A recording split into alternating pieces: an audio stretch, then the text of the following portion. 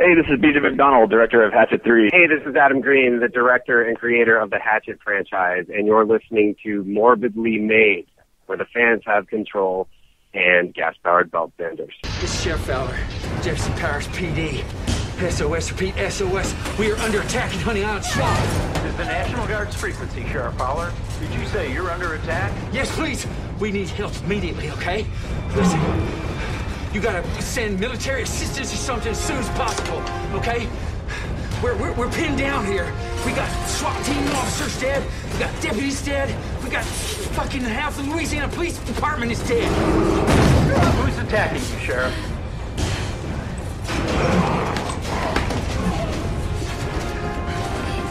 Victor Crowley.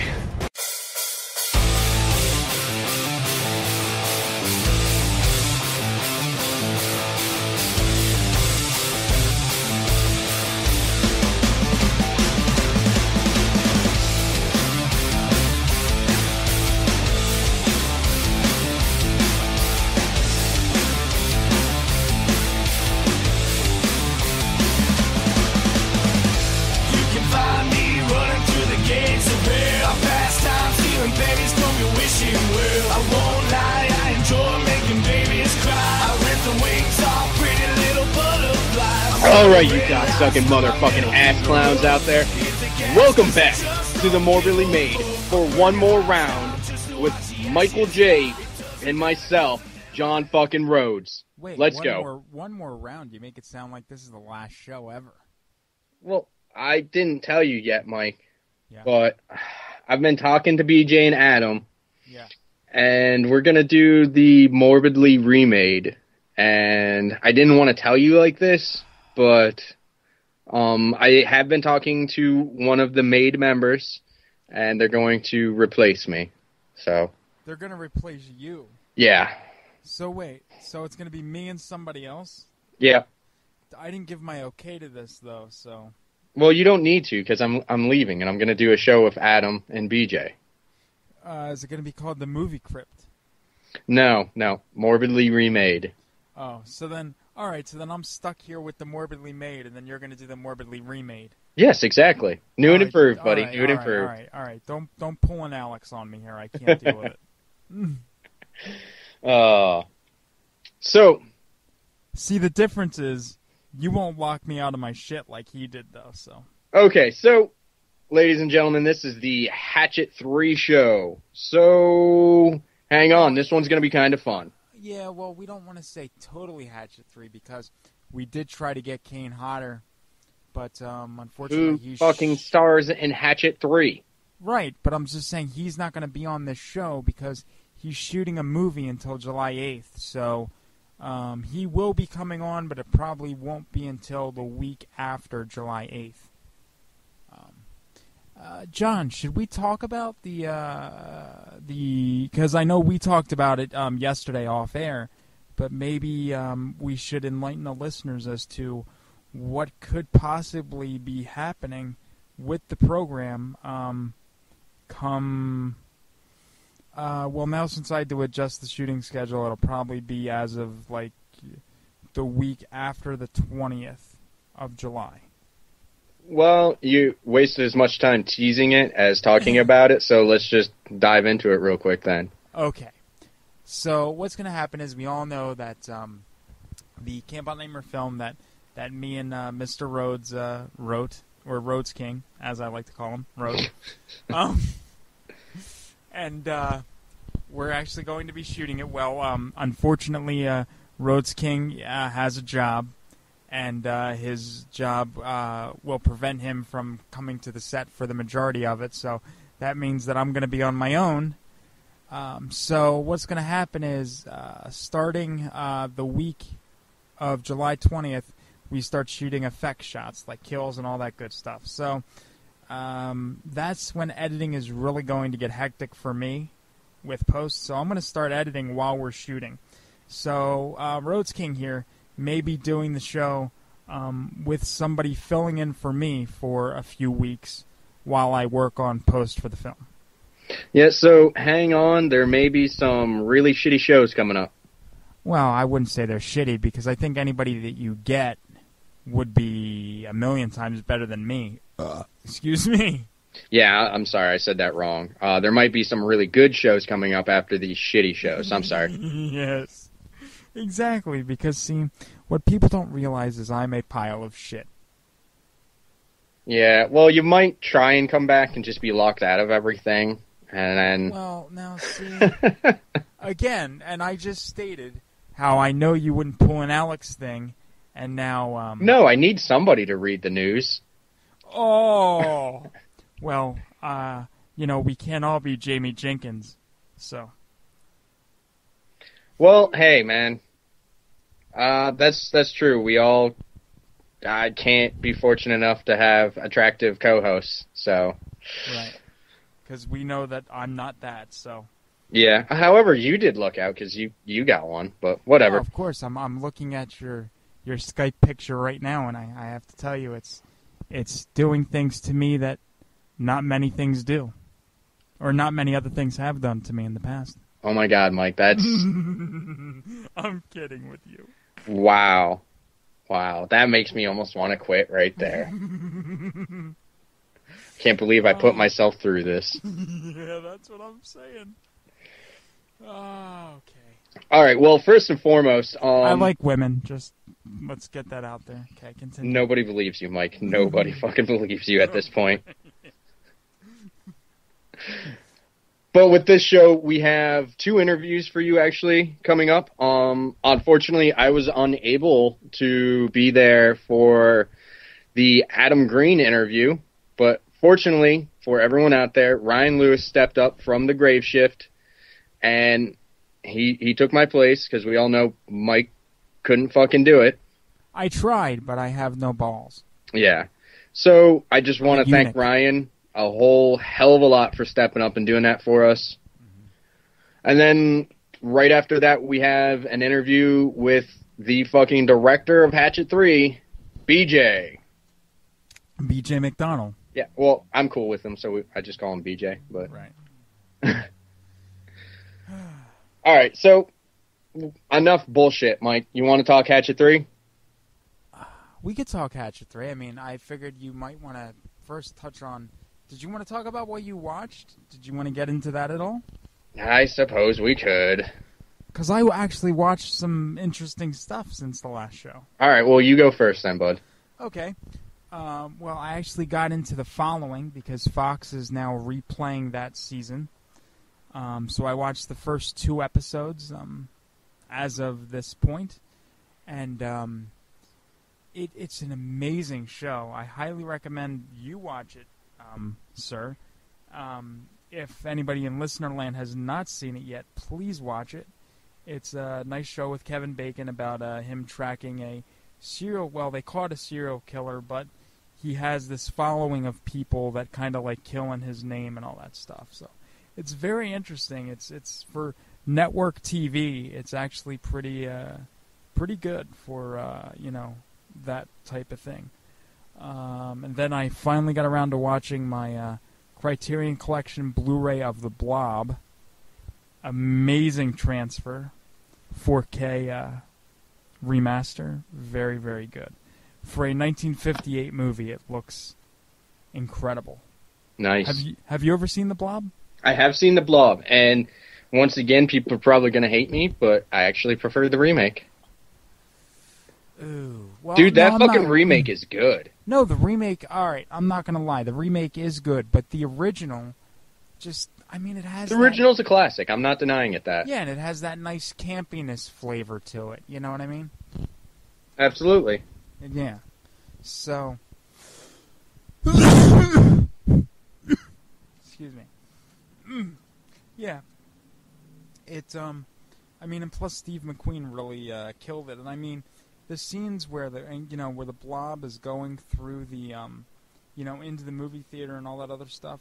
The good thing about the Blu-ray is it has a bonus feature. It shows some of the models that they used for that. Like they used a lot of miniature models, like for the movie theater and the diner scene and all that stuff. Yeah, I wouldn't have Uh, guessed. I thought they had millions of gallons of fucking Jello that they were pouring through the actual theater. Well, actually, it was never Jello. It was like silicone, Yeah, I, I didn't know. I just took a guess. And uh, It was actually shot in Phoenixville, PA, which uh, Really? not yeah, is not too far from me, honestly. I actually didn't know that. So Yeah, I mean it, it's uh, I didn't know that either. I knew it was shot in PA, but I thought it was somewhere maybe closer to you. uh, I I didn't know. Yeah. Well, we know. uh, and then aside from that, Go ahead and say Uh, your fucking cheesy ass TV shows that you've been well, watching. no, no, no. Well, no, I watch those every day, so that that's that's not, you know, that's not an issue. Uh, but I also did get into the third season of Falling Skies, which um, Noah Wyle of ER fame uh, stars in that show. I love Falling Skies. Great, great program for uh, alien things, and it's uh, Steven Spielberg's uh, executive producer on it, and it's like you can almost tell that like this season, like the first season, there was like no budget. The creatures were kind of like very just like uh, thrown in there, you know, whatever. Second season, the effects got a little better. Now it's like this season. Uh, wow, he really decided to throw some money into it. So Well, he's not exactly got much else going on. So well, and uh, I'm very excited for something non-horror that starts this week on TNT. Uh, Franklin and Bash with uh, Malcolm McDowell uh, and uh, Mark Paul Gosselaar and Breckin Meyer starts this week. So very excited for that. of course you are. You should watch it. you have Dish. I don't watch TV. Watch TV. Watch TNT's Franklin and Bash this week. Watch it. Maybe. It'll All be right. the best two hours you ever spent because it's a I- two-hour season premiere. Yeah, I'm not watching that. Oh. So is that I'll, it I'll for your list? it. Uh, yeah, pretty much. So yeah. All right. Well, you know I'm a cinephile, so get ready. uh, yep. All right. So I watched The Awakening. Yes. Not not bad. Um, I, I did want to watch that. I was told uh, by a very good friend that it is actually really, really good. It's, it's not bad. It's not bad. It's an interesting little ghost story. I just think that they they just kind of lost it at the end. And I'm not saying that the ending's bad because it's not. It's just you could tell they're going for something bigger and grander and just tied everything together in this perfect little bow. And it did kind of get tied together, but you could tell it was like some half drunk guy trying to do it in a car real quick before he came in the house. So Wait, wait, wait, wait, wait, wait, wait. So wait, what was he trying to do in a car before he got into the house? Kill himself? to, that has nothing to do with the fucking movie. It, it was Yeah, well, no, but the way that you were saying it, you're like, I don't fucking know. to- well, you said he tried to get some. He tried to do it in the car before he got into the house. So it's like, Yeah, What you is he know the guy's do in the the guy's coming home from work and forgot his fucking anniversary, had to get a present, and it's it's it's a fucking metaphor, Mike. Let's move on. it doesn't make sense, but okay. Ah, fuck. Um, I watched Dark Skies.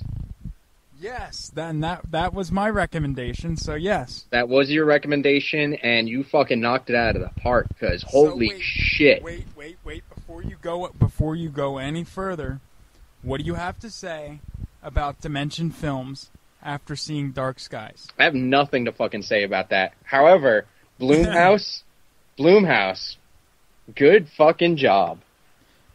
But Uh, the Weinstein's and Dimension were behind it as well. So Mike, it's a Dimension logo across that screen. First off, I I really don't give that much of a shit about the studios. I know you do, but I gotta say this is a quality fucking film, and it is a really good, um, atmospheric, scary movie. This isn't like your gore fest or anything like this. This is almost like a haunted house, but with aliens. It, it's really fucking good, and it is honestly one of the few films that have honestly truly scared me lately. So, So good fucking job. Scared, it actually scared you. Yeah, it, it did. I'm not even gonna fucking lie. It scared me. Did you pee your pants? No, no, but I I was a little uneasy sitting there, you know, afterwards, just uh, kind of unsettled. Like I don't know if I want to go to sleep now. So Oh, that's a little bit of a child move, but okay. it it really struck me in that deep, you know, You know, when you're a little kid and you get that fear, it really harkened back to that with this movie. They did an excellent job. I'm super impressed. Well, no, that's good. I'm I'm glad to hear that. Actually, I'm And- really and- glad to hear it. That's honestly not just me either, because I've I've recommended it on to more people, and they've had the same response. I think this one needs a lot more push than it got. It's fucking good. So, has anyone else aside from you admitted that Dimension is a good company? Probably. Good. See, that makes me happy. All right. Anyway, I watched Jack Reacher. Meh. You're not a Tom Cruise fan? I, I, Tom Cruise is not bad. He just didn't really feel right in this role, and it just didn't quite feel right altogether. I don't know. There's just something slightly off about the movie. Oh well, when we get into the news, I have some. Well, this is later about. Uh, it's not horror related, but it's it's something about another big action star that's doing a sequel to a movie that I love that I never thought they'd do a sequel to. But that's that's a nice little tease for coming up in the news. So go on. O- okay. Um, I watched The Last Stand. Yes, I love Eh. that film. It just I felt really do. it felt like a bad balance to me, but whatever. Um, It's brilliant. it's not. Yes, it is. It no. But anyway, I watched Scream Four.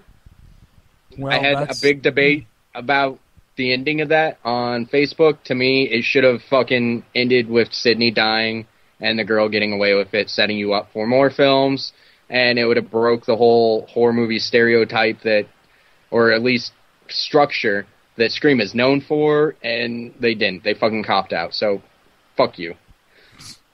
Also, uh, a Dimension film that that is pure brilliance. So continue. It would have been pure brilliance if Sydney would have fucking died and the girl would have got away with it. No one would have fucking seen that coming. Of course not. Awesomeness. Uh, I watched uh, Chrome Skull. You did watch that, yes. Not bad. Uh, Escape from L.A. that, yeah. No, oh, yes. Fuck yes. Did you watch Escape from New York before that? No. Oh, You I I've have. seen that recently, but no, I just didn't. Um, Ooh, when you when you watched the Escape from New York, was it an HD version? uh, I want to say it was actually. Yes, because I have the Blu-ray, so I highly recommend. When you do get a Blu-ray player, um, that's a must-buy. Okay. Not done yet, Mike. Sorry, I watched a lot of shit. Yes. I watched uh, The Crow, City of Angels. Oh. I don't know why so many people hate on it. It's a really good Crow movie. I'll have to watch it again. Uh, End of Watch. I've wanted to see that because I heard that it was really, really good. Sad ending. The the ending kind of got to me. You watched it on Netflix, right? Yep. That's what I figured. Mystery Men. Yes. Good Artie fucking Lange. comedy. Mhm. A good die. Er, a good Good day to die. die hard. Yes. All right, not bad. I mean, it could have been better, definitely, You're but you're it waiting wasn't for bad. six. You're waiting for six. I'm really hoping they fucking save it with six. Uh, Tremors two. Brilliant. Don't know why, but I watched it. Um, Two is good. And then I just followed it up with the normal TV shows of uh, fucking American Dad, uh, Fringe. Watched a lot of Fringe, but How far are you in Fringe right now? uh, just started season three. And how many seasons are there again? Ah, fuck if I know. It's still going, as far as I'm aware. I just watched it on Netflix. Uh, 'cause- no, I think it's done. oh, uh, well then I don't know. I, I will get to the end at some point. Yes. But I started watching season two of Holliston. Fucking brilliant. I love that show so much. If if you're listening to this, all five of you out there, fucking watch Holliston. five, but okay. Fucking watch it. It's a great show. It's a fucking sitcom that's self-aware, funny as shit, about two fucking losers that you know are just trying to make it in the movie industry. Kind of strikes close to home. But anyway, um, Well, first of And- all, I'm not a loser, and I great- resent that. it uh, it has great horror elements to it. It's funny as hell, and it has so many fucking cameos in it. You you just need to watch it. Yeah, I will watch it one of these days. You fucking better. I will. I have to. But that that is my list. I mean, it's pretty decent. I would say that you've watched a lot over the course of a week, say. No, So- that. What I do is I go back to uh, the last time we did this, and I just go up. So, I, I keep a list. See, I don't because I don't watch a lot, so I don't really have to do that. I guess. Yeah, you just don't care about the fans enough to actually inform them. Well, I make a mental list, and plus, Exactly. I you don't I said, I care don't. about the fans. Of course not. I I mean, no, I just I don't watch a lot, so it's easy for me to remember what I watch. All right.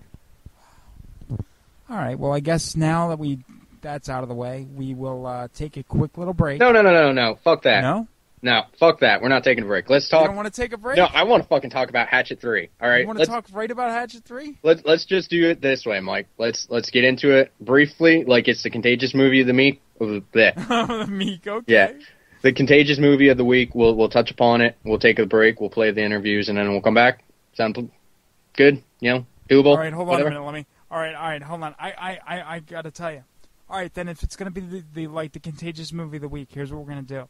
Because I, I didn't tell you this, but I came up with a theme for the contagious movie of the week. Oh Jesus. So, Okay. All right, so now let's let's get into this now, okay? The contagious movie of the week. Oh my god. so anyway, this show is all about Hatchet 3, so let's fucking talk about Hatchet 3 right now. Um this will be a, a spoiler free review. Are So if you don't want do spoilers, uh maybe listen a little bit to the interviews, but I mean BJ does have some spoilers in it, Yeah, no, BJ definitely does. but So I mean, be aware it's not going to ruin the movie experience. However, if uh, you don't want spoilers, don't listen past that because after that, we're going to spoil the shit out of this motherfucker. right. All right, Mike. So, Hatchet 3. What'd you think of it? Um, well, we all know what a steaming shit pile I thought two was. Um, and at least, yeah, I mean, if you listen to me over the, the, you know, the past few years over my different incarnations of shows, you know I have an utter disdain for Hatchet 2. I love Hatchet 1, but Hatchet 2 I hate. And in my mind here, Hatchet 3 totally redeemed the franchise for me. Really? It totally did. Now, why do you say that? Because Danielle Harris was not a fucking crying, whining bitch the whole time. I'm sorry. So, But- the yeah. fact that they chose to keep it realistic and two, and then after a traumatic event where she That's- watched that's- all these people that she knew and was starting to like die terribly in front of her, the next that's- day you don't want her to cry. You don't want that realism. It's not realistic. Do you think somebody's gonna really like break down and cry like that, like nonstop? I don't think so. Really? So, so when Donald Pleasence died, you you didn't cry nonstop. Uh, maybe for like the first, like four or five hours, and then you know it kind of broke down to like every time that I like saw something that reminded me of him, then I would break down. Okay, so you remember she was crying in the beginning. Yeah. She cried a little bit when she got to uh, uh, the fucking voodoo shop. Right. And then after that, she wasn't really crying. She was mopey, but she wasn't crying. Right, but again, I mean, she's got to just learn to like pick herself back up and go beat this fucker.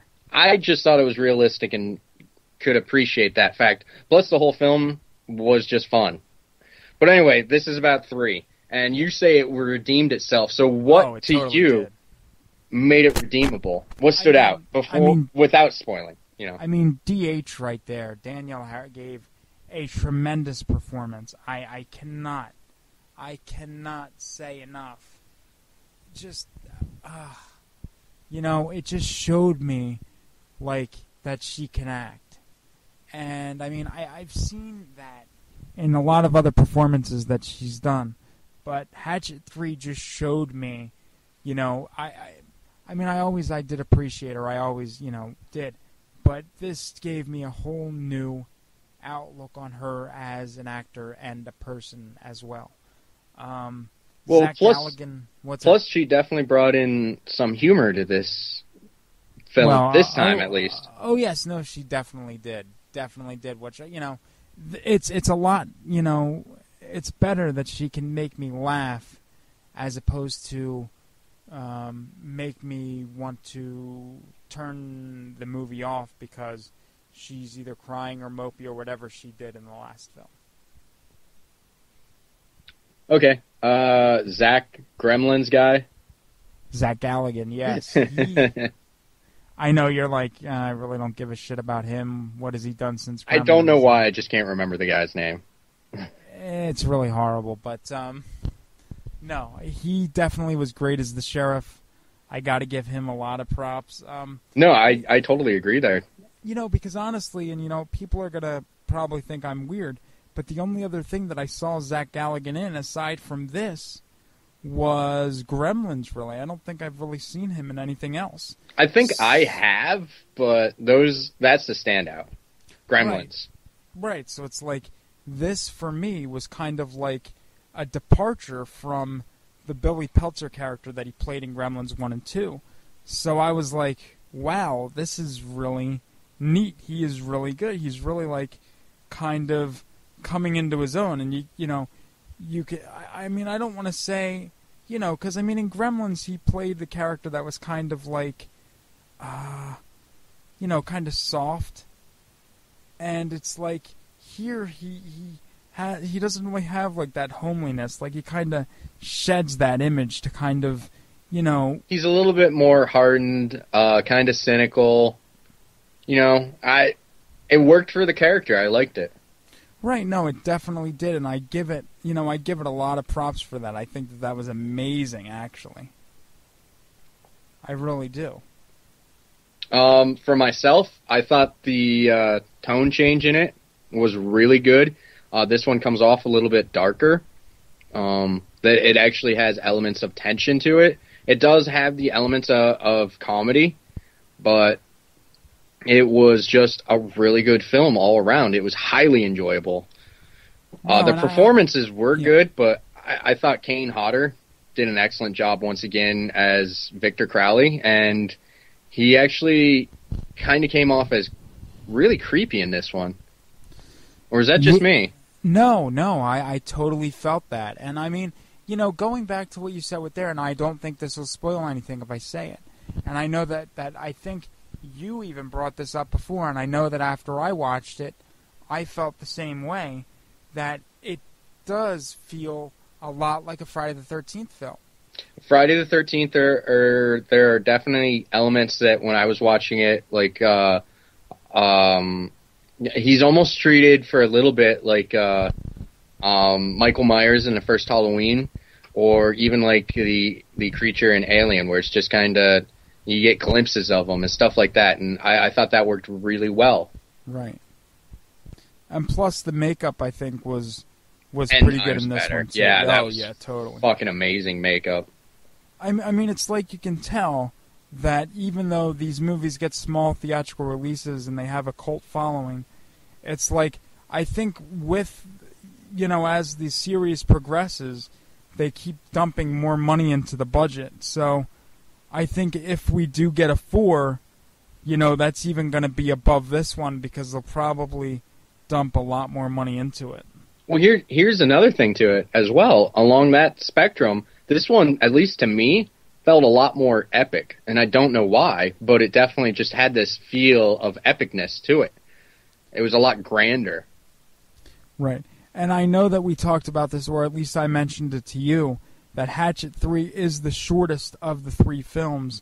But it So- does not feel that way. No, it all. doesn't. And no, it doesn't. And what it is, you know, and, and, and you know, tell me if you think I'm wrong, but I, I really do feel that it like kind of grabs you right from that first frame and it sets you on like this roller coaster ride and it just keeps you vested in it until the end. No, it definitely does. I mean, it's kind of fast paced at moments, but then it slows back down, and there there's good nods to the other two. Um, there's good comedic moments. Uh, there there's definite moments of tension where you're actually worried about characters. Um, this one did it right. This one did it right, and all the right areas for me.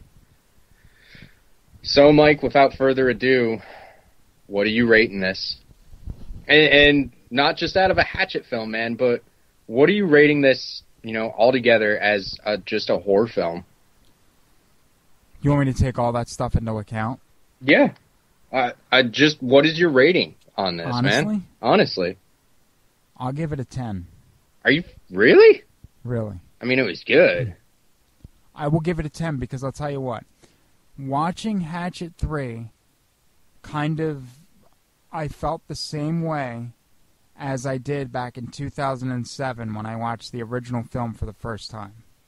Okay, okay. Well, I'm I'm not gonna argue that, and I'm not gonna lie. I'm slightly torn with my vote, so I'm gonna have to. to give it a 10. I don't, but I'm gonna be honest here. Uh, I'm torn between an eight and eight point five, and I'm gonna. I'm gonna go with an eight probably. But Ooh. here's the thing. Yeah. Now, what was it? The last show I gave Maniac a nine, but Yes. that is on a different level. That movie is different. Uh, this is one that I can definitely go to the theater multiple times and see it, and I would if if I could. Mhm. But you know, fuck it, eight point five. You know, just even saying that and thinking well, that'll it, round up to a 9. It, it's an rounds up to a eight point nine. five. It is on par with Evil Dead. Maybe not quite as good, but Are I you quarters, insane? so eight point five. Wait, wait, wait, wait, wait, wait, wait, wait, wait. Before, before, because I know we're gonna go to break after this, obviously, but before we go to break, I just got to say this: Eight point you actually think that the Evil Dead remake shit pile was better than Hatchet Three? Uh, okay. My ratings, I, I kind of base off from how I feel about them and how I will go forward with these movies. Um, you know, Maniac is amazing. I, I am going to praise that, and I've talked about it a lot. I've suggested it to a lot of people, and it is something for hardcore horror fans to own. They should. This one is so much fucking fun that I can't stop talking about it. I want to watch it again. But here's the thing. I am already talking to you, and pretty much when we're done, I'm gonna buy the steel box of Evil Dead. I probably won't do that with Hatchet Three, but I'll definitely end up owning Oh. it at some point. I kind of They won't have a like steel box for Hatchet Three, unfortunately. well, no shit. However, I'm going to look to see if on like Etsy or something like that I can find something that somebody made for like the trilogy because that would be awesome. I like box sets, even if it's a homemade box set. I like fucking box sets. Here's a question: So, would you buy Hatchet One, Two, and Three on Blu-ray? Absolutely. Okay. Absolutely. Now, here's the thing, though, Mike. If if you really wanted to put me on the spot, you'd say that I had just enough for one. Now, would I get Evil Dead or Hatchet Three? And I know you'd get Evil Dead. So. I, I would, and that's what makes me want to put it slightly lower than Evil Dead. That's what makes me really, really, really, really, really, really surprised. That, I mean, wow. Wow. Because seriously, in my opinion, Hatchet, I mean, Evil Dead doesn't hold a candle to what Hatchet 3 did. And that is simply because of the title Evil Dead. If it was called Crazy Fucking Cabin in the Woods, you would have loved it, and you've even I don't said think that. So. Nah, I don't, I don't know. Yeah, but see, the thing is, it's not. Moving on, sir.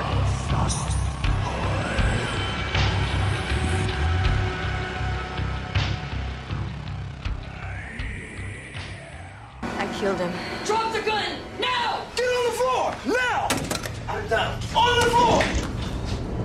Spread them! Wait, she has something in her hand. What is it? Oh God! It's a fucking skill. Who? Who'd you kill? They're all dead. Who's dead? Honey Island Swamp. I need an available boat unit out to Honey Island Swamp now. Hamilton, you there? I killed him.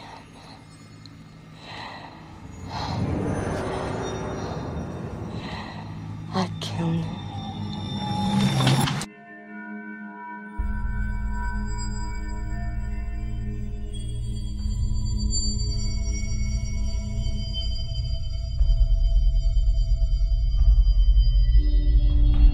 All right, Adam, thank you so much for being with us. Really appreciate it. Thanks for having me. All right. Um, I've been listening to the movie Crypt because I'm big in the podcast myself, and I was just wondering what made you get into it.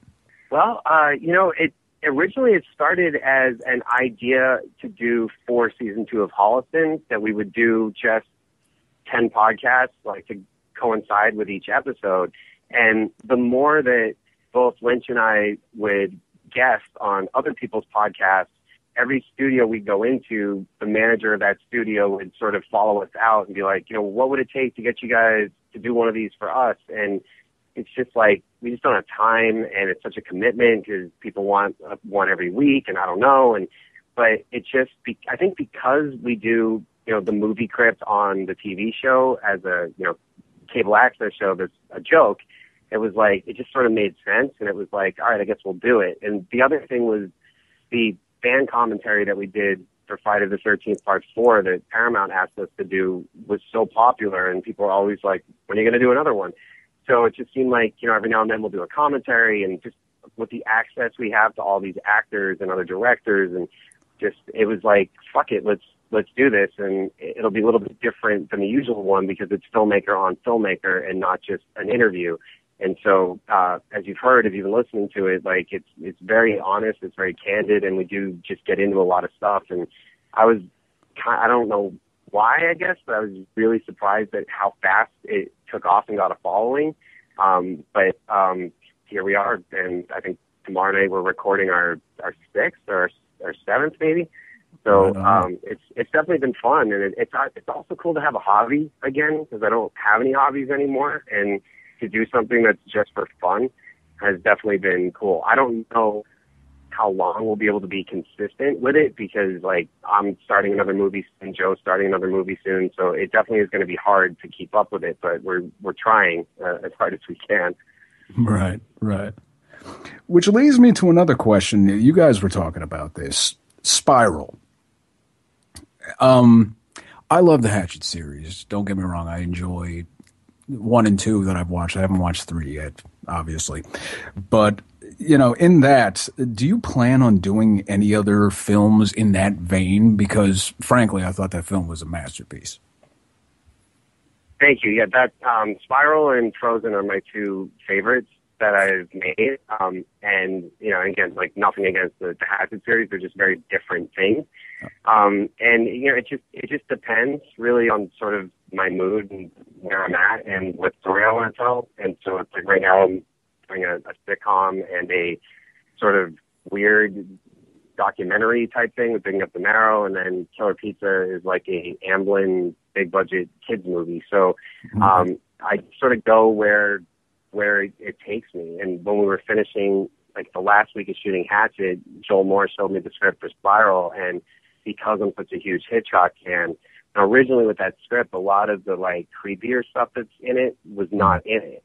And um, but I had this sort of vision for it, and Joel was totally on board with that. And um, it was just the right group of people and the right time. And I mean, that was a movie like I did that for free. I never got paid. Really? Really? I um, I just did it because I loved it. So it's um, but it's it's great that more and more people are finding it now because Hatchet sort of turned into this juggernaut, and Spiral was released uh, in theaters four months afterwards.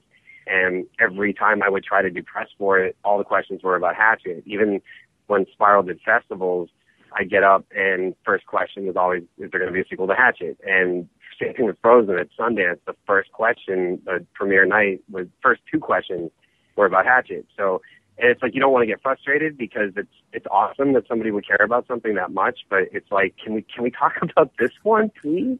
Um, so uh, yeah, but it's um, it just would really depend. I mean, I love that type of movie. Um, unfortunately, those movies kind of go under the radar though a little bit. Um, Yeah, they aren't do. really excited about character pieces and psychodramas and art house movies like that. But um, you know, ho- hopefully someday there'll be an, another movie like that. A lot of people keep asking for a sequel, and it's like, well, if you saw the movie, you would know that the sequel would be the exact same movie. So what, what Right, would the right. be? exactly, exactly. Thank And you I- for watching it because I uh, love Oh. that movie. Every time somebody comes through the autograph line with that movie, I stand up and hug them. It's so rare. It's always Hatchet, Frozen, Holliston, Chillerama, and then somebody will have Spiral, and it's like, thank you. I could imagine. I could imagine. I, I really feel like it's going to be one of those films that down the line it's just going to grow even more in popularity, and people are just going to completely dig it and look back on it as like a gem that you know wasn't given the uh, attention it deserved.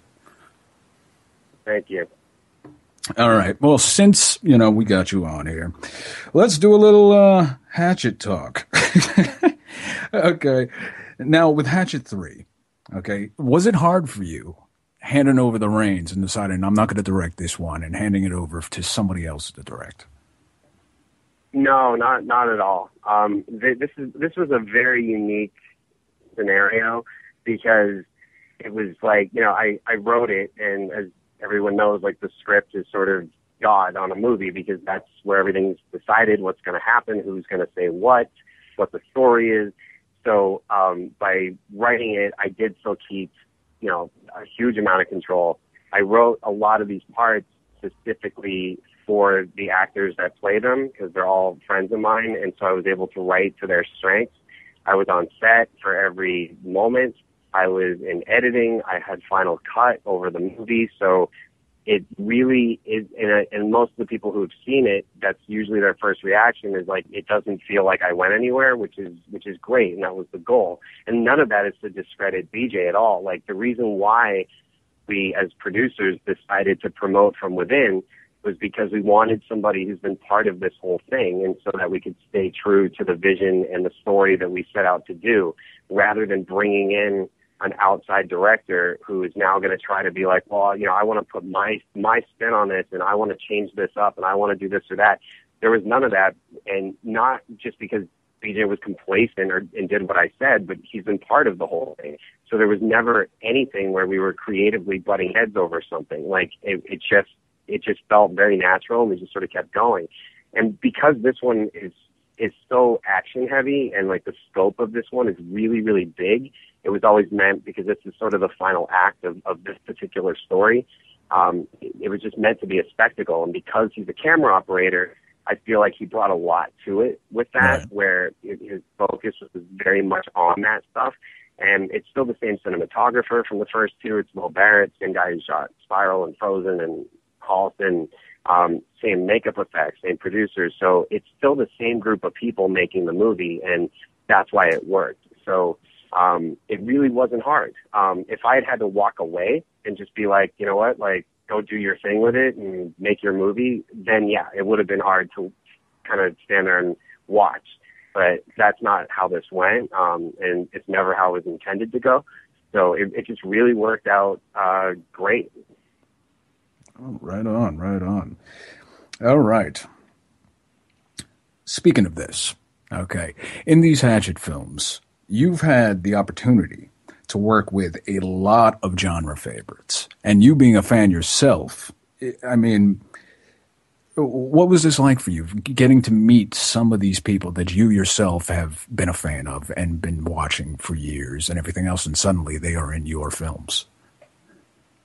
Um, it's uh, it's incredible. I mean, I still you know pinch myself every day because I still haven't lost that that fanboy sense of like glee and excitement over it.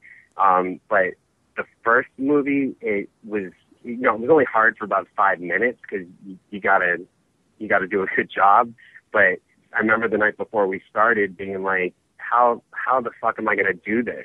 Like, what if they say no? What if they challenge me on something and say, no, I want to do it this way?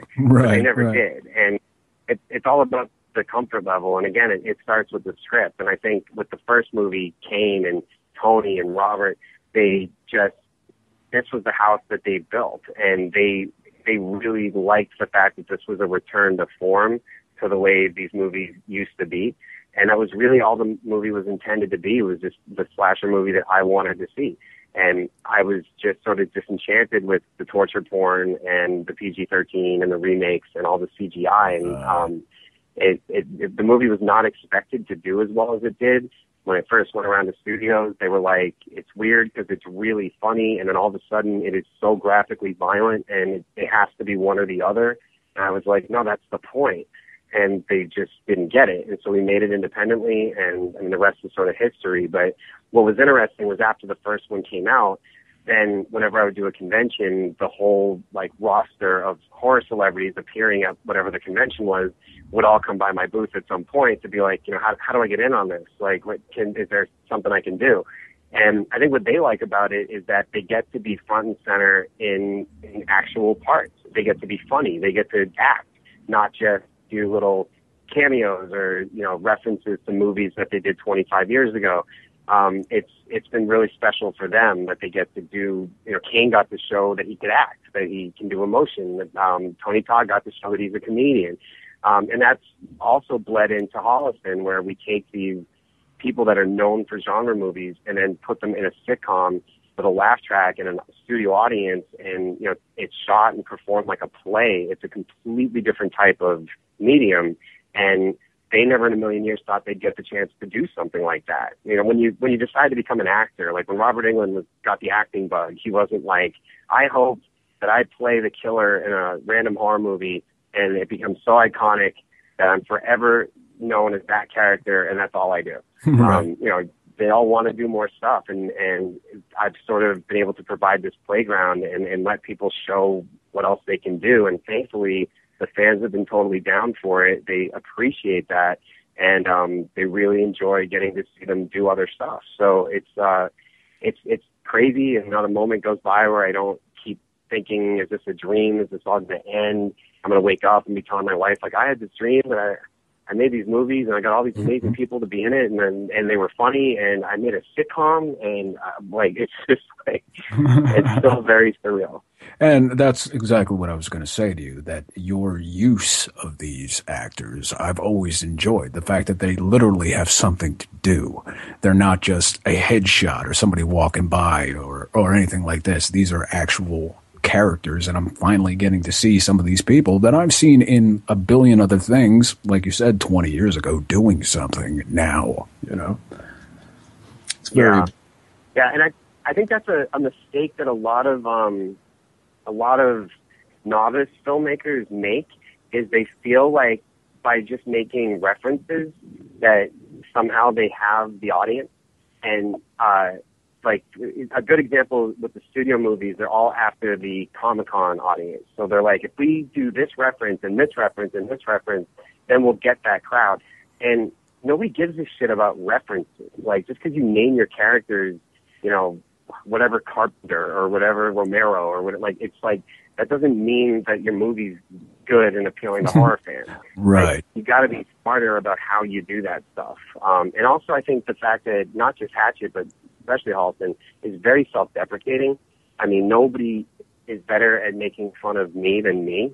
Um, Right. And I I love to do it, and it's just fun for me. And so um, I, I know there's critics that get frustrated because it takes the power away. Because what are they going to say? Because I already said it myself. So it's like, Right. Well, get, um, but there's a great thing in Hatchet Three where Zach Galligan's character briefly goes over the plot of the first two movies and then finishes by saying that it's got to be some of the most contrived and idiotic storytelling I've ever heard. and my character from the first two is in the jail cell behind him, and you just see me give this really offended look towards him. Like, um, so, um, when we showed it in Boston, the uh, nobody heard the next like two minutes. Everybody was just laughing and clapping. But it's like you know you got to have a sense of humor, and you can never take yourself seriously. So it's it's been really fun to do that. And like um, if you saw the season premiere of Holliston, there's a point where Kane is really depressed that he's not Jason, and he says, um, "Now I'm going to get stuck doing shitty Friday the 13th knockoffs by young wannabe directors who are making next icon of horror." And I look at him like a nice ad lib, dick, and he's like, "You like that?" I'm going to keep going. Um, so it's it's. I think the fans do appreciate that stuff. Um, there's some that get offended. They're like, "Why are you ripping on yourself, man? That's fucked up." It's like, well, dude, come on, like, like look, look what we're doing here. Like, you gotta have you gotta have fun with it. Right. You got to have a sense of humor with what you do. Otherwise, it just becomes far too serious. Yeah, yeah. And I mean, you know, there's times to be serious, like Spiral and Grace and Frozen. Like those are very serious movies. But if you're if you're not going for that, then enjoy it. Right on, right on. All right. Now you said that uh, this Hatchet Three is the closing of this story. Does that mean there's not going to be a four? Um, you know, you never know. Like this, this story is will finish with this movie, and uh, it was always designed this way. I always had this planned, and um, if you've seen it, you can see how it all worked out, and that it was planned out like this from the start. Um, from this point forward, I mean, the Victor Crowley character, of, of course, there could potentially be more Hatchet movies with Victor Crowley. This story, though, especially the story of Mary Beth and Victor Crowley, I would like to see end here. Um, Right. But there's there's there could always be more. I I don't know what those movies are right now. Like with two and three, I always I always knew these stories and exactly what was going to happen. So it was different. But I'm not I'm not opposed to it. And if the fans want it, um, and the only reason I can say that with faith is because the distributor Dark Sky, the studio who makes uh, these movies, they are, and you'll never hear another filmmaker say this, so it's really important. They are the most filmmaker friendly company of all time. Like they actually like horror movies. Like Greg Newman, the, the president of the company, actually likes this stuff and he knows all of it. And they let me make these movies for the Hatchet fans. They've never at any point said, well, how do we reach a broader audience here? Like we've got this great thing going and the, the movies are successful. So how do we reach beyond that? Like maybe they're too gory. Maybe we should dial back on the gore and make it PG-13 or maybe it shouldn't be, you know, such funny dialogue. And they, like, they've never done that. And it, I'm in a very weird and fortunate position where these movies are, they're cult movies. It's not, you know, Saw or like Nightmare on Elm Street where they get released on 3,000 screens with 25 million in marketing. They're, they're cult movies, but it's a huge cult worldwide and their the fan base is very big and very passionate and very loyal and they let me make the movies for those fans and only those fans. So I always say like, well if you didn't like the first one, why did you watch the second one? Or like Right. if you didn't like the, the second one, don't watch the third one. Like we don't care. It does we don't need you. So like if you're not part of this and you don't enjoy it, that's cool, man. Like wait for the next thing. Um, but if you do like it, I I I feel like we we deliver um, consistently with these. So and and the, I just think the quality of the movies has continued to get better with each one. So um, looking at this as a trilogy, it's, you know, you always end up going to like the Star Wars comparison, but two was always meant to be The Empire Strikes Back, and it's you know it's darker, it's a little bit more serious at times, like the, the Crowley flashback story where we tell the real story. Um, the deaths are extremely brutal and violent, but um, it's you know when Empire Strikes Back came out, there were a lot of Star Wars fans that didn't like it as much as Star Wars, and then by the time Jedi came out, they were like, actually, I think I might like that one the best. and um, when we did the, the screening of all three of them, um, you know, Three is sort of meant to be our our Jedi, but without Ewoks. And uh, it's a lot of people were saying, you know, when I the second one first came out, it was okay, but I liked the first one better. But now seeing them back to back, like, holy shit, the second one's fucking great, and it's like, cool. Like, uh, but you know, no matter what, everyone's gonna always have their favorite, and that's that's totally cool too. Well, right on. Now, uh, you have gotten me extremely excited to see this film. Awesome. I hope you like it. It's a lot of fun. Oh yeah, I enjoyed the first two immensely. I watched them like frequently as hell. We'll say.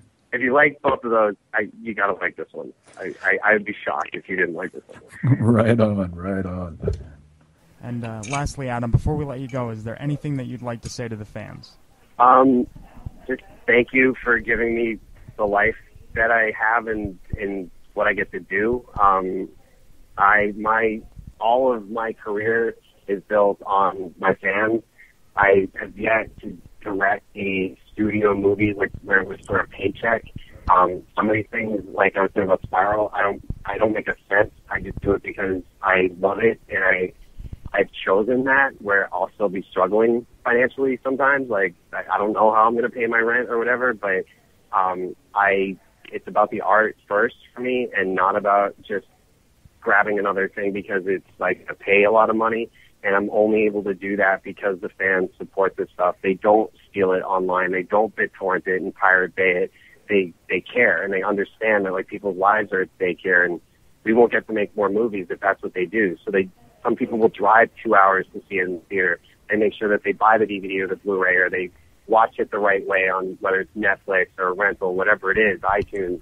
Um, and that's that is um, is so appreciated. And the only reason you keep getting to see more stuff from me and from my crew, because it's like it's not just me. I'm like the figurehead of it, but there's a group of people that have done all of these things together, um, as different as they all are. It's the same core group, and it's only because the fans support it, and and the fact that they're so loud.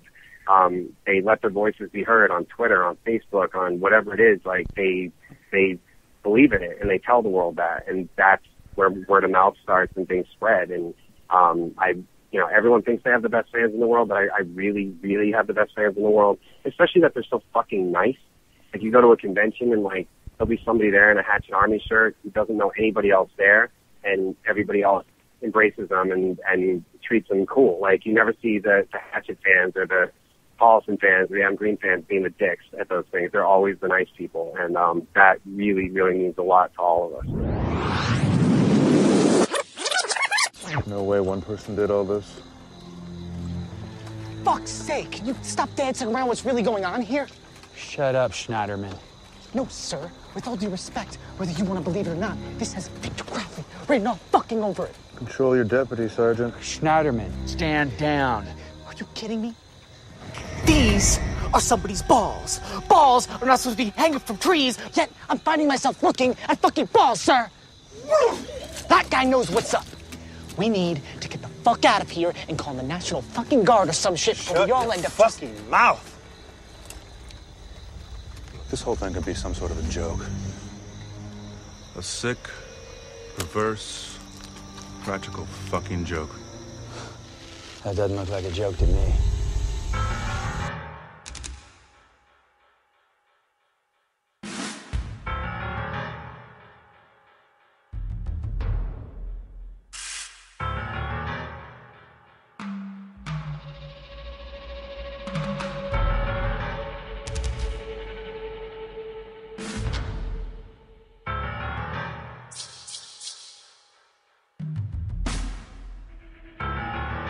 Well, I'm glad you could make time for us.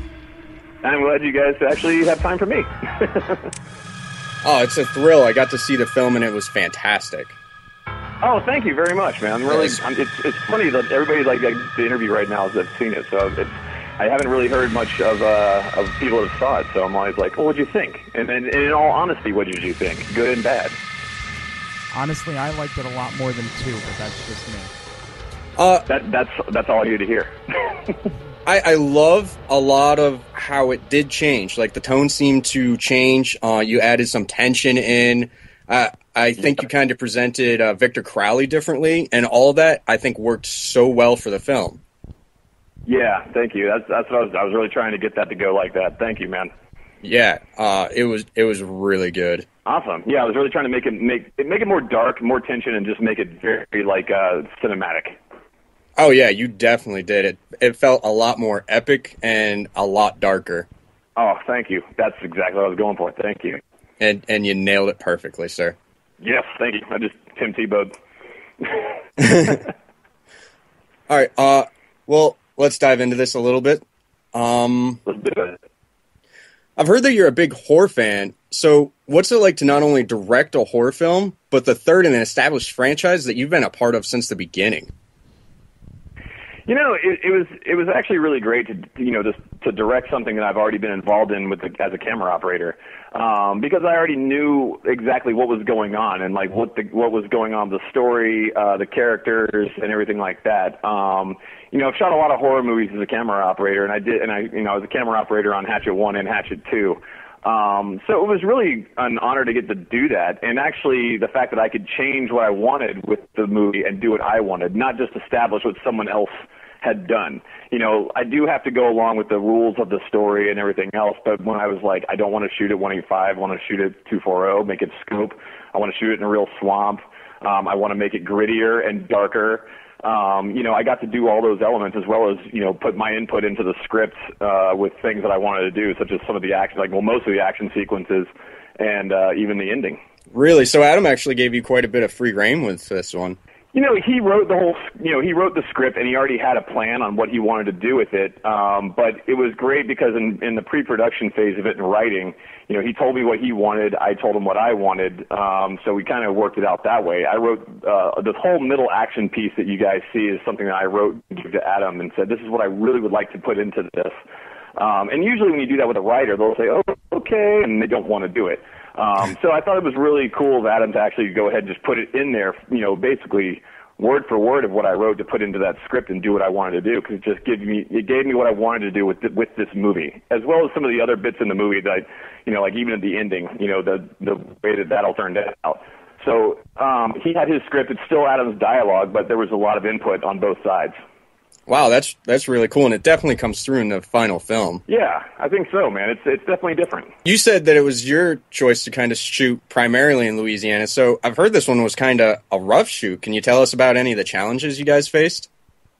Yeah, it was absolutely brutal, um, and I knew that going into it. But the fact that I didn't, you know, the first one was shot at Sable Ranch, the second one was shot on a soundstage. You know, granted, we we flew to New Orleans for like a day or two on the first and second one um, to actually shoot some daytime exteriors or and, and things like that.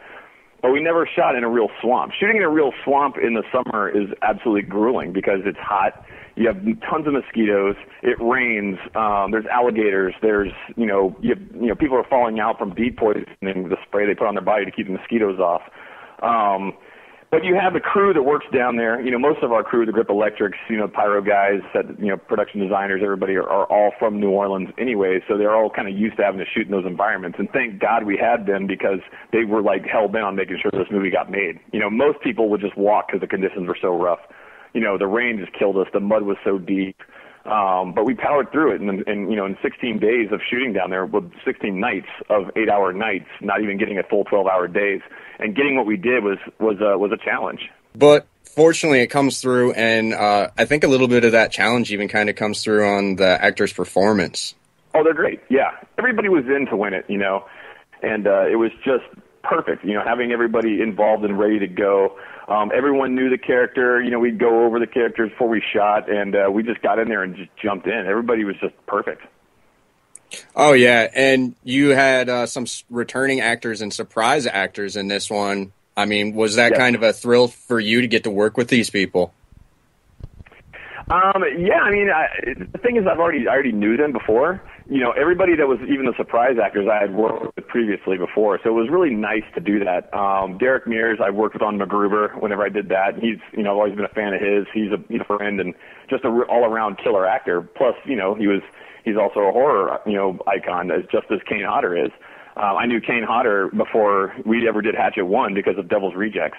Um, so I already like had a previous relationship with him, and Danielle Harris I knew from Halloween one and two uh, with Rob Zombie. So it was kind of nice to go in there and and be able to just jump in with people that I already knew that I already had like an acquaintance with. It was more it was more like running around with your friends and making you know a movie. So you could actually just not worry about things. You could tell them exactly what you wanted to do and what the feel of the movie was and, the, and what's happening here in the situation. And we just went with it without any time to do it. So with any other actors, it would have been really tough because, but they were all on board. They knew what to do. They, they would jump in. We'd, we'd get two or three takes and we'd have to move on because of the shooting schedule. Well, it works. But you mentioned Kane Hodder and Derek Mears, and you know the Hatchet Army would kill me if I didn't ask. Do you think the showdown between these two guys is going to live up to everyone's expectations? I think the showdown uh, that we did uh, is going to it's going to make people really happy, and it's also going to make people really mad. Um, and it was definitely intentional because there is a complete complete showdown here that uh, people are expecting, and uh, it's you know the way we did it was pre-planned. That's exactly how we wanted to do it. You know, me and Derek and Kane, and we talked about it, and it was just the way to go. It's it's it's great. Um, but yeah, I'm, I'm definitely going to catch some flack for that one. I guarantee it. But because you know, those who I don't want to spoil anything right now, but when you see it, you guys can either curse my name or say that was really funny what you guys did. Well, I, I think a lot of people appreciate it because I was actually looking forward to that, and then when I got to watch the uh, screener you guys sent, uh, it, it was a big payoff for me. I, I greatly enjoyed that part. Good. Yeah, it was pretty funny. Yeah, yeah, it definitely was. But you you Yeah, mentioned in this one too. what was that? I'm sorry. So you know, it, it, we put a lot of throwbacks into this movie. Also, like you know, when you watch it, it's like I did a lot of Predator throwbacks, a lot of you know Halloween throwbacks, things like that. You can actually see just putting a little touch in there. It's kind of fun. Oh yeah, you can definitely tell those influences. So with you Yeah. saying that, what what all films inspired you while making this? Um, you know, I'm more like I love the horror films. Um, I'm a big fan of like the Nightmare on Elm Streets. Uh, big fan of Halloween. Um, you know, a lot, lot of Clive Barker movies. I love that stuff. But going into this one, more of Aliens is my vibe. Uh, Predator stuff is my vibe. You know, you're going into some place to hunt something down, which these is what happens in these movies. You're going in hunting this thing down. Um, and it, that's kind of the way I wanted to go with it. And also, even down to the action bits, I wanted to kind of have that feel about it. Um, so that's really why I was directing it. More is, was more of an action base.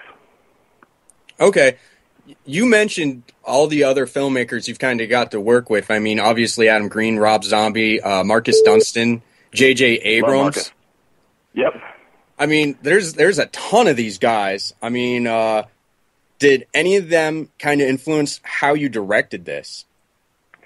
Um, I always go, and, and I, I've I've told everybody, you know, it's it's really Rob Zombie because I've got to really work on most of his movies and see his directing style. He's very he's a huge influence on me as well as just an overall great person and great human being.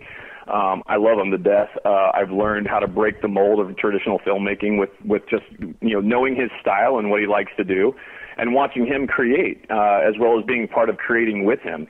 Um, so he was a huge influence on me, just watching his style. Um, so was Marcus Dunstan, tell you the truth, working on the collector and the collection, um, and just knowing Marcus, uh, uh, you know, the person. You know, he's just he's he's a great storyteller. The guy's a fantastic writer, um, and I love what you know being on set with him is just like a breath of fresh air because he's so passionate about what he does. So you know, those two, it, it those are the guys that I really look at as directors and really look up to, and and I love them.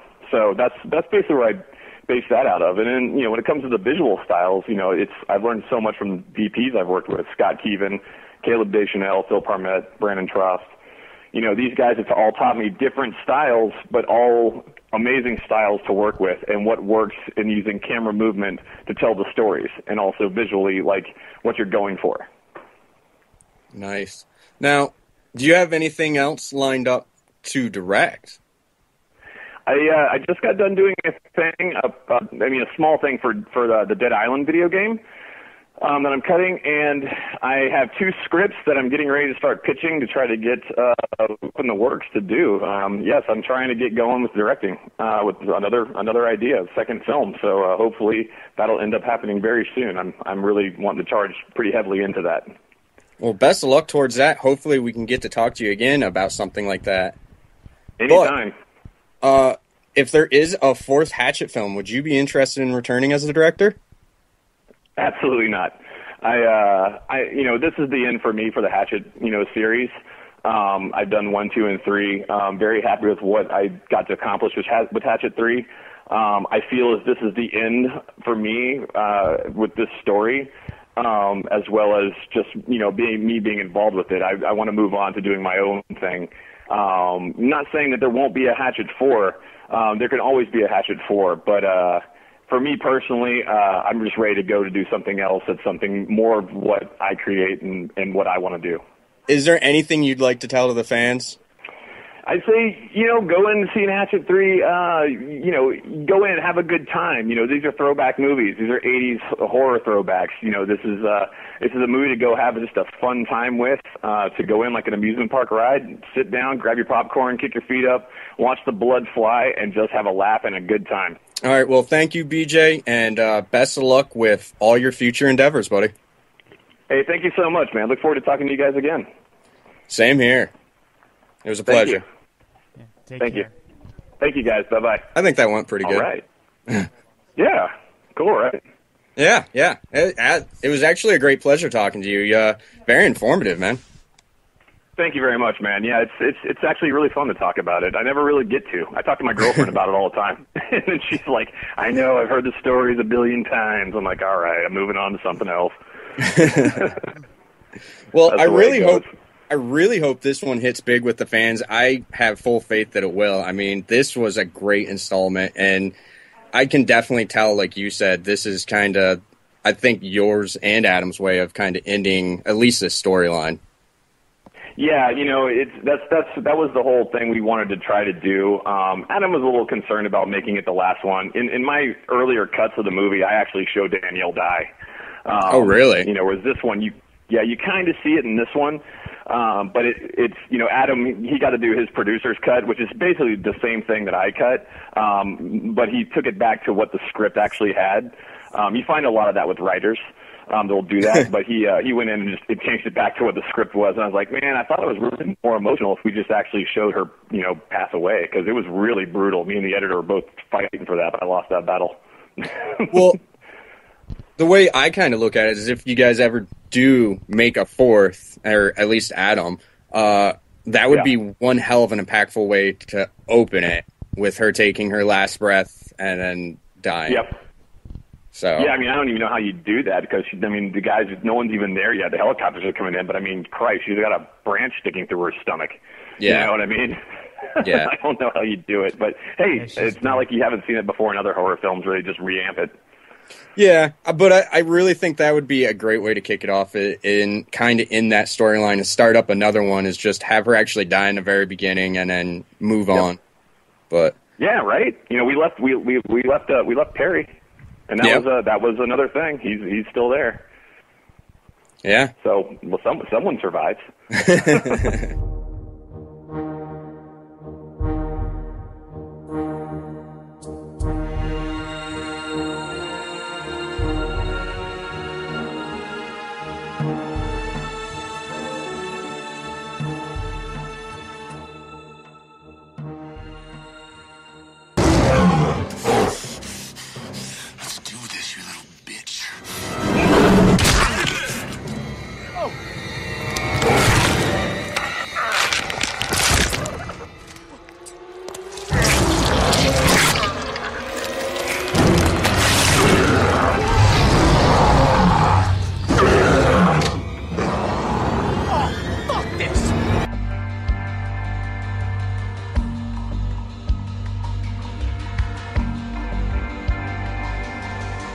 So, John, those were some pretty entertaining interviews, wouldn't you say so? I still think mine was better. You're just jealous because you couldn't be here to talk to uh, Green, and it's not. Look, it's the fault of your work and such that you could not do that. I'm not jealous, dude. That's bullshit. I'm pissed. I mean, since before we even had this show, I was saying I wanted to talk to Adam Green. How how much I fucking like Adam Green. It's fucking Adam Green. Fucking Adam Green. I tried. It's not my fault that your schedule isn't more flexible. I, I know. I wish it was. I wish there was some way I could have been here to do it, but uh, Ryan stepped in. Ryan did a great job. So once again, thank you to him. And yeah, I'm just I'm just pissed that I didn't I didn't get to uh, partake in that. Uh, well, we'll get him again, sir. I'm sure. You're you're fucking right. We're gonna get him again. but are you are you ready to dive into this fucker? Yeah, let's dive into the. All right, so bitches, be ready. Spoilers. Major spoilers. Yeah, fucking right, major spoilers. Okay. So Hatchet 3 picks up right where Hatchet 2 left off. Literally, shotgun blast, picture comes back on, she pumps another round in, and click. Uh, you know, she starts to walk out, headless, fucking faceless. Victor Crowley attacks her. She ends up kicking him onto the fucking gigantic chainsaw, starting it up, cutting him in half, and makes her way out. Fucking amazing intro. Holy fucking shit. I was sold the minute that I saw faceless Victor Crowley attacking her. How fucking cool was that? That was pretty sweet. I'll tell you, I was not expecting the giant chainsaw thing. Yeah, that was fucking awesome. And then we go to her uh, showing up in the police station, getting arrested. Of course, no one believes her because that's a fucking crazy ass story. And we get some cool comedy where the guy's making fun of her, saying how stupid the story is that no one would fucking do that when Adam Green is locked up in a jail cell beside her and looks up all hurt and offended. And that was perfect. That was awesome. You love that. I did. I, I literally laughed out loud when that happened. Were you like uh, all starstruck that like Adam was on the screen? Did you get all like giddy like a little? No, I don't schoolgirl? get like that, but I, I definitely appreciated that. That was a good shot. That was a good sense of humor. I, I, I really liked that. So what about okay? Now here's something for you. What cameo was better, Adam Green in Hatchet Three or Groovy in the Evil Dead remake? Ah, you, re- groovy, No fucking way. fucking way. Yes, fucking no, way. No way. No. You got more time out of Adam. All you got out of Bruce was Groovy. 17 seconds is more than enough for the god of B movies. Nope. Anyway, moving on. Um, yes. The police go to investigate. Uh, you know, they start recovering bodies. We get another cool joke that uh, the Asian guy, um, I should have. Parry Shen. Thank you, Parry. That's his real name. Parry is um I don't know why I don't remember his name. Probably because I'm terrible with names. But Parry uh, is here once again, and the one EMT makes reference that uh, one of the bodies looks exactly like him, and he is like, "Oh, is that some kind of racial thing?" Once again, I laughed out loud. I thought that was funny as shit. Um, but night comes, and Victor comes back, and it's fucking all hell breaks loose. Sadly, we don't get to see a lot of this. Uh, we hear most of it through the radio, and the sheriff and the rest of the deputies, a lot of backup goes out to the swamp to see what the hell's going on. They get there, and SWAT arrives, led by Derek fucking Mears. Right? How fucking cool is that? That was that was very enjoyable. I got. Yeah, Say. and of course he takes right over. No holds barred, just go. Let's go, fucking get this shit. That was cool. Um, the sheriff's ex-wife Amanda kind of shows up. She convinces uh, Deputy Winslow. Yeah, I did do some research after I was made an ass out of with the whole Parry thing. Obviously. Yeah. Uh, and they take Mary Beth out to get Victor's daddy's ashes. And Mike, what did what did you think of this little cameo here? Which one? By uh, Sid. Fuck Haig? yeah, by Sid Haig. Oh, that was brilliant. That was that was amazingly brilliant. Yeah, because oh, amazing! I loved it. Yeah. Oh no, there there's no way that I mean you couldn't see that coming. That was great. And uh uh um I forget the one line, but um as soon as he shows up to the house with the one cop or the deputy and uh Uh, I'll have to see if I can get that clip and throw that in here somewhere. But that was He plays a blatantly racist redneck, and he's fucking funny as hell in it. I enjoyed it greatly. Um, I almost cheered, like I said, when he came on. It, it was awesome. Um, but from here, you know, we go back to the swamp. Everyone's getting fucking killed by Victor Crowley, and we have the showdown. Victor Crowley, played by Kane Hodder, against Derek Mears. Michael J. Well, we know who wins. What did you think of this, though? What did you think when you saw the setup and you're like, oh shit, it's gonna happen? What did you fucking think? I knew who was going to win right off the bat. Yeah, but how much of an epic battle did you think that was gonna be? Honestly, I mean it was good, but I think we could have had like a little more from like play between Derek and Kane. Like I think Kane could have like pulled like one of those finish him Mortal Kombat moves where he kind of like rips um, you know, grabs fucking Derek by the throat and chokes him and then rips his spine out. Well, here here's the thing. Like, it started, and I thought we were gonna have somewhat like an epic throwdown in two where uh, he actually struggled a li- little bit against the the biker guy, and there was none of that, and it was just played straight for comedy, and I fucking loved it. Like as soon as it went down, I was like, that was fucking cool. I laughed. I mean, Derek Mears and him lock up. Derek gets slammed against the wall, and he says, "Let's go, bitch." And Victor Crowley fucking punches through him and pulls his spine down out of his stomach. Fuck yes, loved it. So, what does it prove, John? Uh, that two fictional characters can fight each other and one of them die. No, John. It proves that the one and true Jason still has it. Oh, I never said he didn't have it. I never said he didn't have it. He is fucking amazing as Victor Crowley. Never said he didn't have it. Now, see, you know what would be the ultimate kick in the face? Um, it would be, you know, when they remake Hatchet, because you know, like, 20 years down the road, they're going to remake Hatchet. Oh god, I hope not. What if Derek Mears plays Victor Crowley? I would laugh so fucking hard. It would be awesome. It really would. Dude, and you can't even tell me that that would not be awesome. No, that would be pretty cool, but I can guarantee you that. I don't think he Uh, would. I don't think there's a chance in hell he Oh, would. no. Oh no, I think he would. I think he would, just to prove, you know, that he's got that he's got it, and that he can play anything better than Kane. He's already done that. I disagree. I just said that to piss you off. I know. you- Anyway, moving on. We we can get into that later.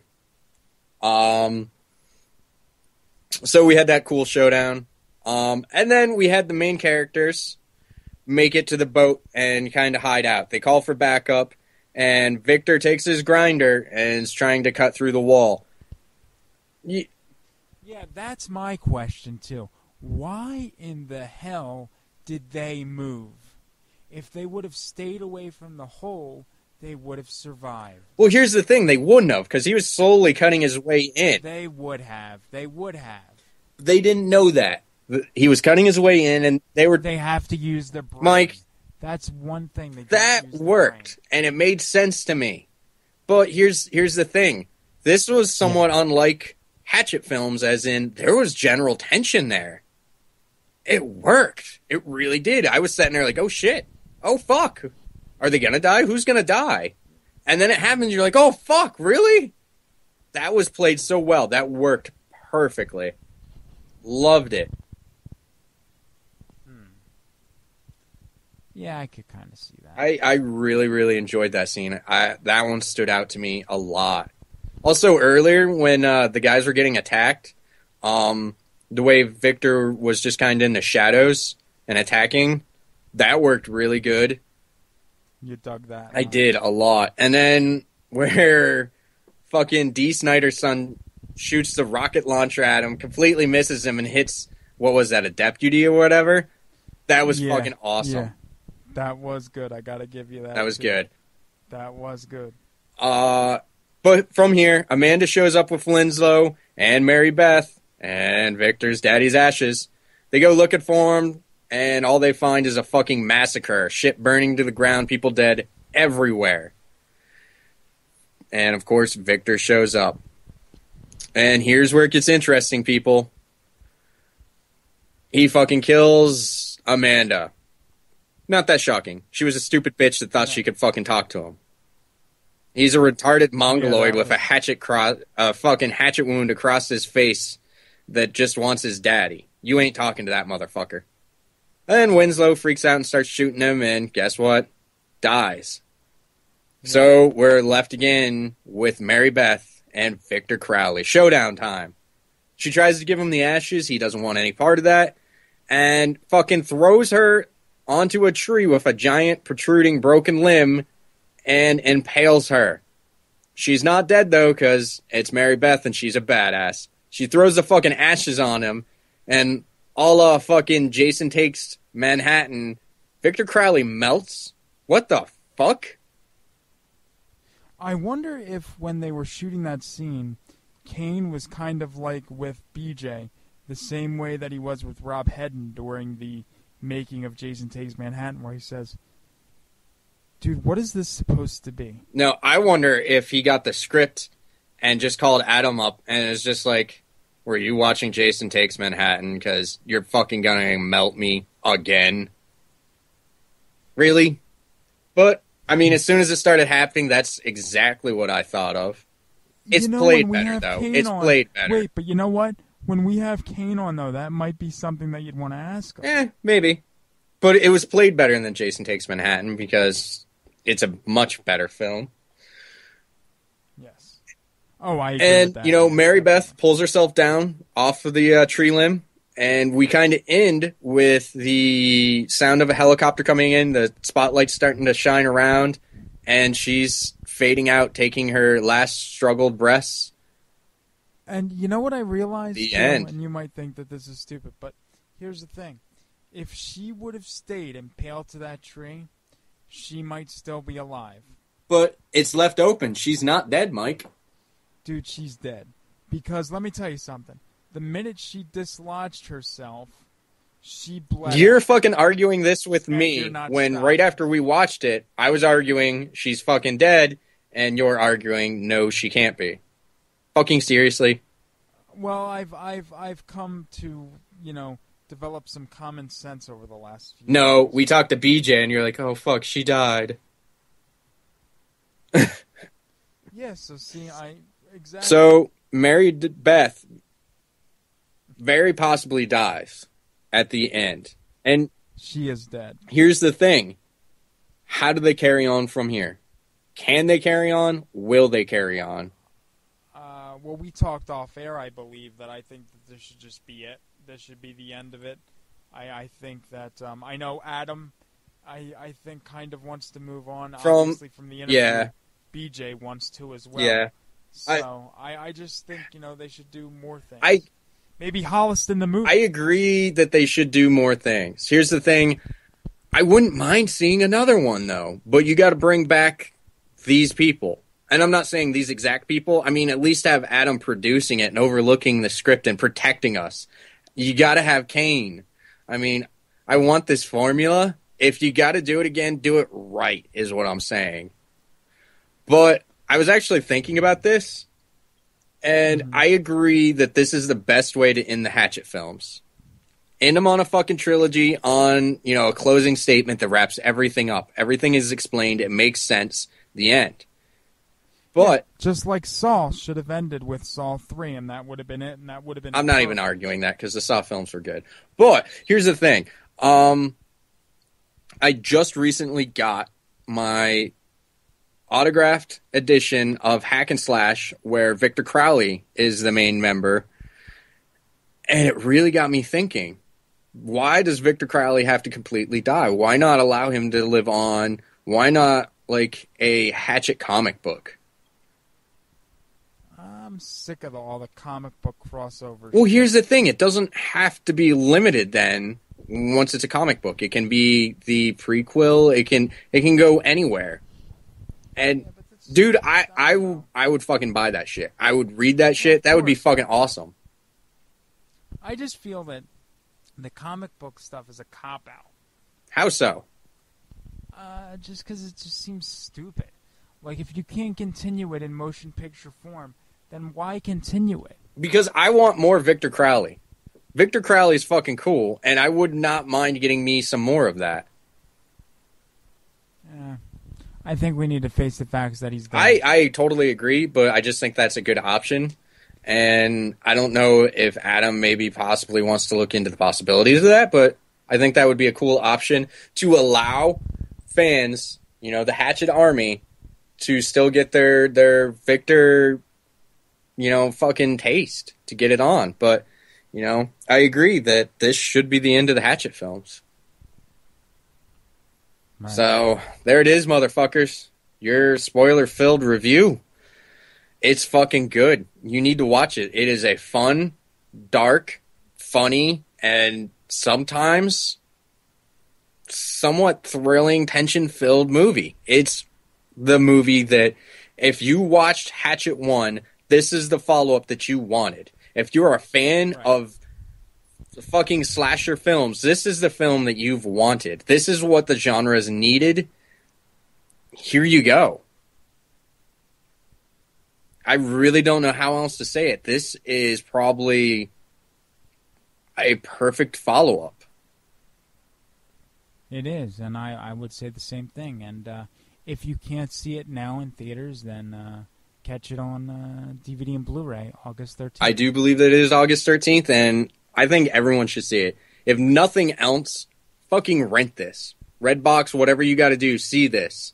If if you do not like it, that's fine. You're it's not your thing, whatever. But I guarantee that if you're a fan of Hatchet 1 and Hatchet 2, just fucking buy it. You're going to want to. Just fucking buy it.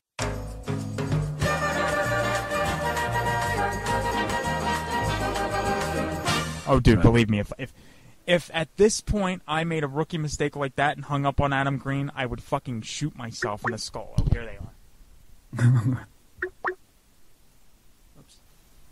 Hello. Hi, Mike. Hi. Hi. Sorry, hold on one second. Okay, thanks. Hello. Hello. Hello.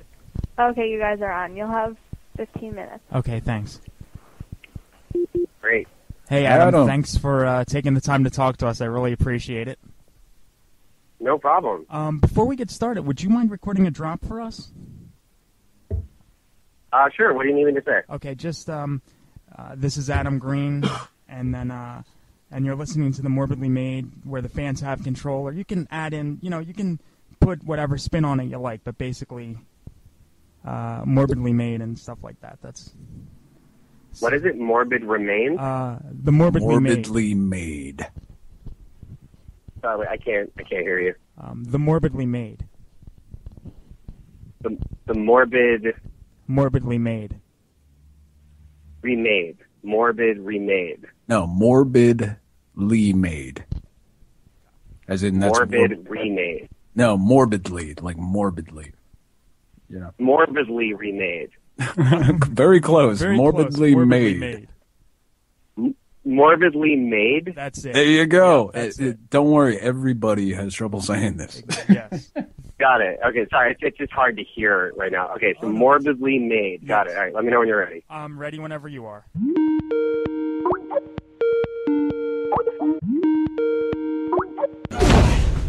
Dude, I'm telling you, this may be it.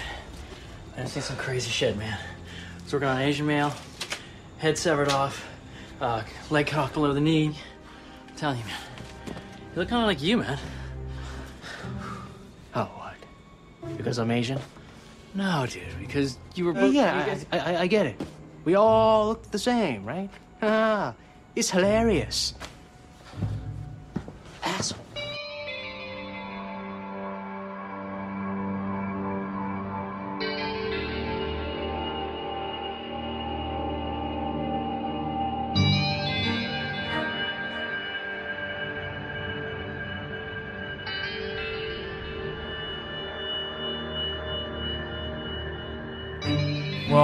Now it's time for the news. Wow. Um, well, in the opening of the show, let's start this off. It's it's non-horror, but I think it's something that warrants. Uh, Nobody cares, Mike. Yes, they do. Uh, Arnold Schwarzenegger, of course, made his triumphant return to the uh, film acting. Yes, with The Last Stand, which was an amazing film. Um, I think But- you're full of shit. he's keeping that going with the uh, Terminator 5. He will be playing a Terminator in that film next year. But that's not the big news. The big news is one of his other 80s film properties is getting a sequel. And I never thought that I would see a sequel to this film, and it's a film of his that I enjoy immensely. Can you take a guess what it is? Uh, no. The original was made in 1988, was directed by Ivan Reitman, and co-starred Danny DeVito. Twins? They're making a sequel to Twins called Triplets. Oh my god. Are you fucking serious? I am totally, completely serious. Arnold Schwarzenegger will be starring in Triplets. He is expecting to get a script for it soon. Uh, I will not be watching that. Why? It's it's dude, but Twins was so good. Twins was decent for his time. It was funny, but you know what? Fucking move on, Arnold. See, Jesus. Yeah, but now it's triplets. Fucking shoot me. I mean, I wonder who who they're gonna get to play the triplet. Some washed up actor. Now, come on, Arnold Schwarzenegger and Danny DeVito are not washed up. What's the last good film they did? I don't know, but Danny DeVito is still doing um, actually, The Last Stand for Schwarzenegger. Nope. DeVito is still doing uh, It's Always Sunny in Philadelphia. Yeah, yeah. Like I said, what was the last good thing they did? Uh, you're funny. Um, and also, uh, getting onto another topic, they released the suggested retail price for the Friday the 13th Blu-ray box set.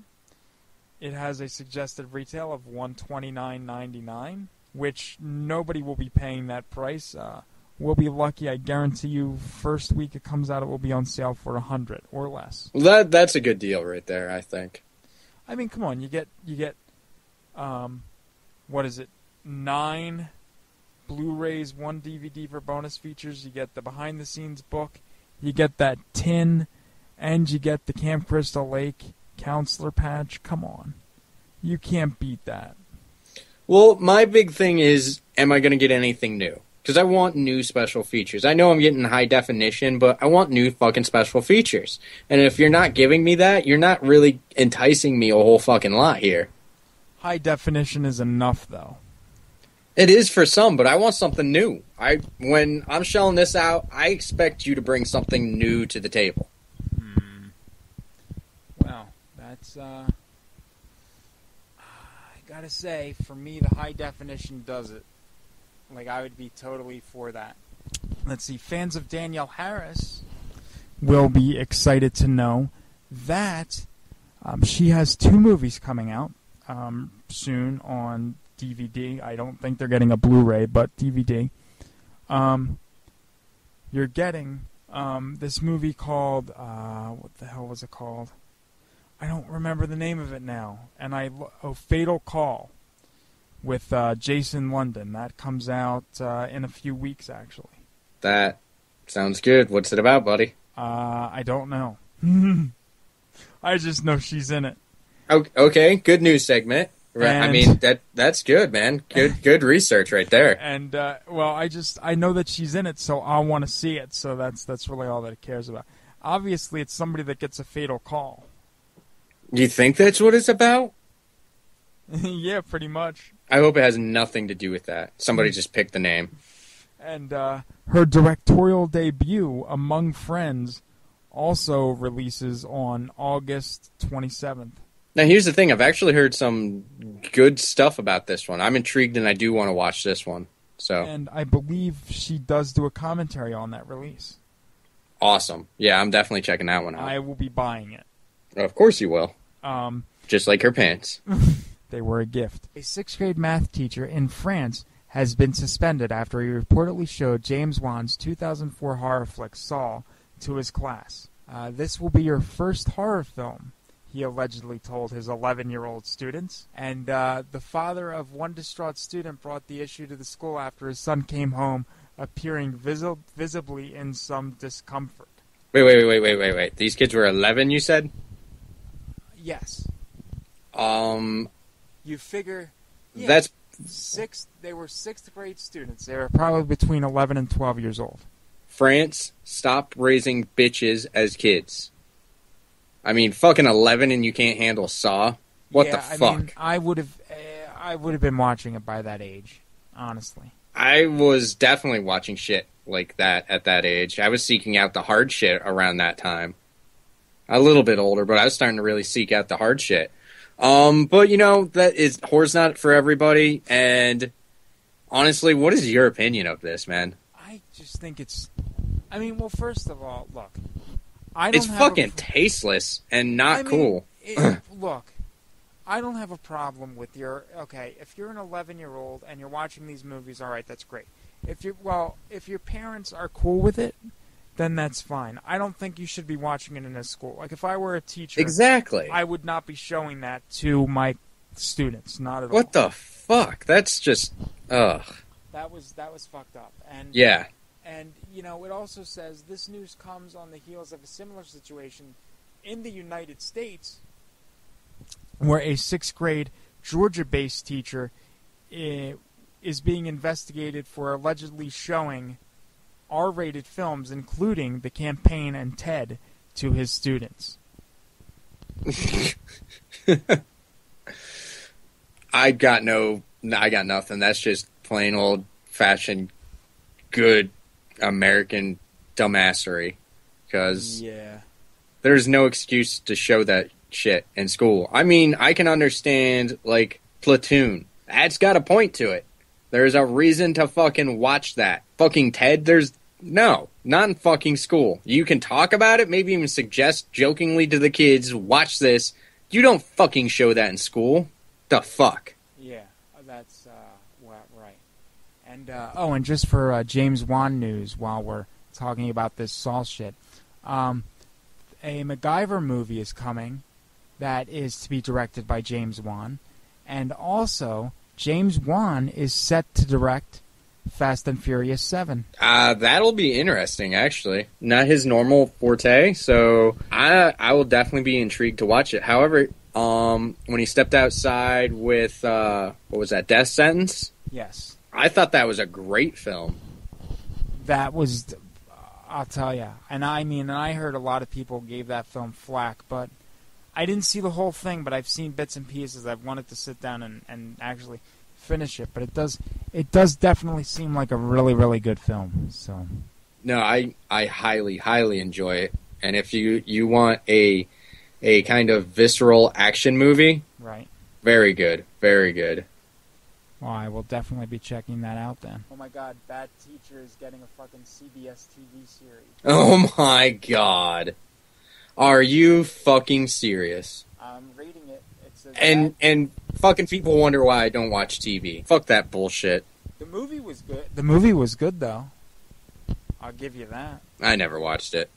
No, it is actually pretty good. Um, so I don't know. That's that's really all I got, dude. All right then. Well, thank you for the heaping shit pile of news. I agree Uh, with your statement. yeah, I I have a general fuck you to all of that. I only have one thing to contribute. What do you got?